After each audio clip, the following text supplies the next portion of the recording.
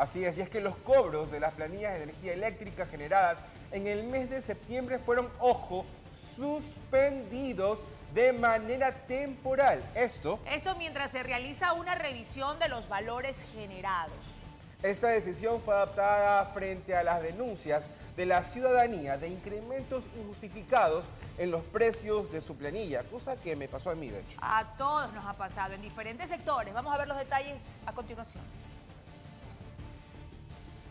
Ha registrado incrementos, sí ha registrado, de hecho este mes uh, tuve un incremento y obviamente hay que pagar primero para poder reclamar. Que cuando ella revisó la planilla sí le subió y ella eh, se vive prácticamente en un lugar bien lejos, casi no tiene ni luz, a ella se le va constantemente la luz y sí me llamó preocupante, entonces sí es preocupante el caso.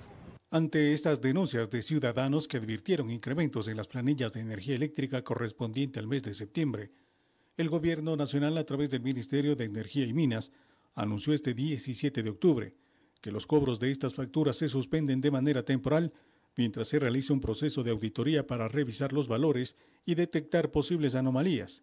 Mientras tanto, tampoco se realizarán cortes al servicio. La ciudadanía comparte esta decisión que permitirá que sus planillas sean revisadas. Sí, estoy de acuerdo porque usted sabe que dicen que pague y después reclame, entonces ya después no devuelven, entonces sí me parece justo que no se pague y ver, revisar para el otro mes. Porque si es que hay cortes de energía eléctrica no deberían subir las planillas. Más bien deberían bajar por las horas que se está haciendo el ahorro. Adicionalmente, el Ministerio de Energía señaló que los usuarios que ya hayan cancelado sus facturas correspondientes a este mes y tengan inquietudes, podrán realizar los reclamos correspondientes a cada una de las empresas eléctricas del país. En el caso de la capital, la empresa eléctrica Quito puso a disposición varios canales de atención, el call center 136, la página web www.eeq.com.es, en la red social X la cuenta arroba eléctrica Quito y en las agencias urbanas y periféricas.